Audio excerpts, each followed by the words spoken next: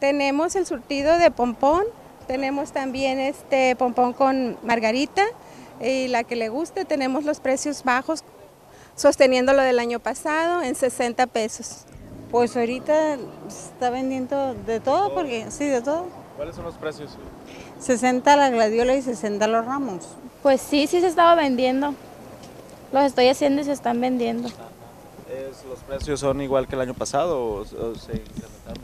Pues es un poquito más caro, llegó. ¿Cuál es lo que más se está vendiendo ahorita? Por la gladiola, la verdad. Y los arreglos de, de rosas. Es lo que se vende más. Si hay afluencia de gente, si hay gente comprando. Pues sí hay, nomás que lo que pasa es que como tapan las entradas, ahí nos, nos, nos merma, pues nos merma porque la gente no se baja de los carros, pero ahí gritando arrimamos a la gente. Sí, sí, se ha visto que llega la gente y pues todavía falta todo el día.